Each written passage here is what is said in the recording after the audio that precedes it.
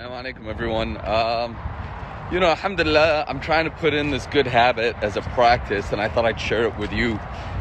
If we all want to have uh, an opportunity to grow spiritually while also growing physically and taking care of our health, one of the best things we can do is make a habit, if it's possible, to try to walk to the masjid.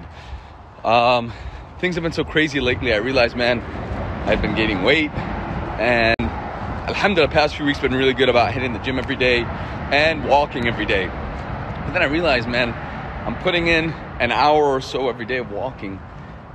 Instead of doing one hour straight of walking, why not just try to hit up the salon, the masjid, walking? Each time it's about 15, 20 minutes round trip. Alhamdulillah, you knock out an hour, hour and a half of walking, going to the masjid.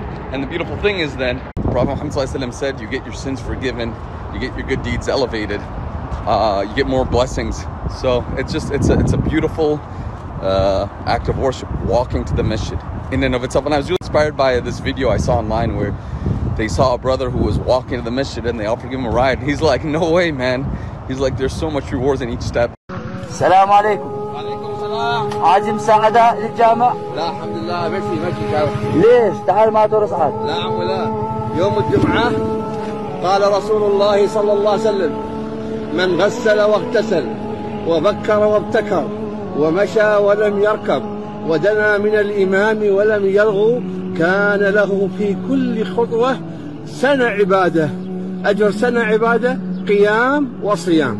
ما شاء الله. هذا حديث صحيح. So, alhamdulillah, it's, it's a great way, especially in our busy schedule, to combine worship uh, with exercise. Uh, things that we often find we struggle to make the proper amount of time for. So combine them.